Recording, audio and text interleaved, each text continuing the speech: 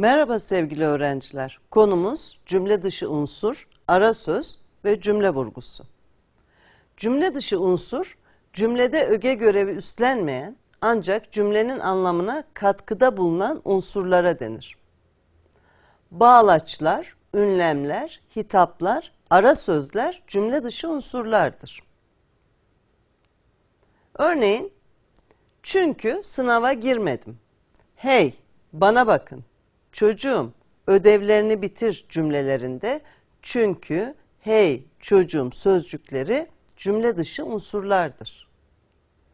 Ara söz, cümleyi söylerken söz arasına sıkıştırılan, bazen bir ögenin açıklayıcısı, bazen de cümle dışı unsur olan söz veya söz öbeklerine ara söz denir. Ara söz daima açıkladığı ögeden sonra gelir. Ara söz cümleden çıkarıldığında cümlenin anlamı bozulmaz. Örneğin yaşadığım şehri Ankara'yı seviyorum cümlesinde iki kısa çizgi arasında yer alan Ankara'yı sözcüğü ara sözdür. Yaşadığım şehri seviyorum şeklinde söylediğimizde cümlede bir bozulma olmadığını görüyoruz. Evini, çocukluğunun geçtiği yeri çok özlemişti cümlesinde ise ara söz çocukluğunun geçtiği yeri söz grubudur. Evini çok özlemişti şeklinde de söyleyebiliriz. Cümle vurgusu cümlenin en önemli ögesi yüklemdir. Yükleme bağlı olarak diğer ögelerden biri özellikle belirtilmek istediğinde o öge yüklemin önüne getirilir. Bu duruma cümle vurgusu denir. Cümlede vurgunun yeri değişebilir. Fiil cümlesinde vurgu yüklemin önündeki ögede bulunur. Örneğin babam İstanbul'a dün gitti cümlesinde vurgulanan sözcük dündür.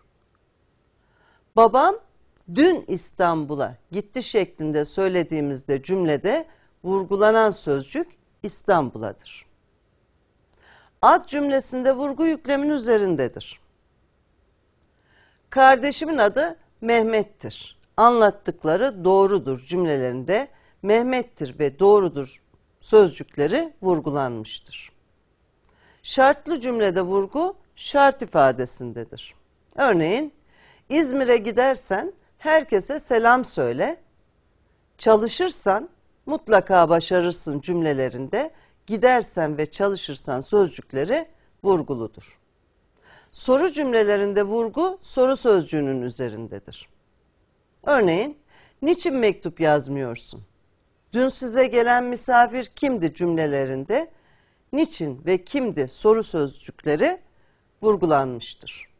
Cümle dışı unsur, ara söz ve cümle vurgusunu inceledik. Konu tekrarı yapmayı, yapmayı lütfen unutmayalım. Hoşçakalın. Música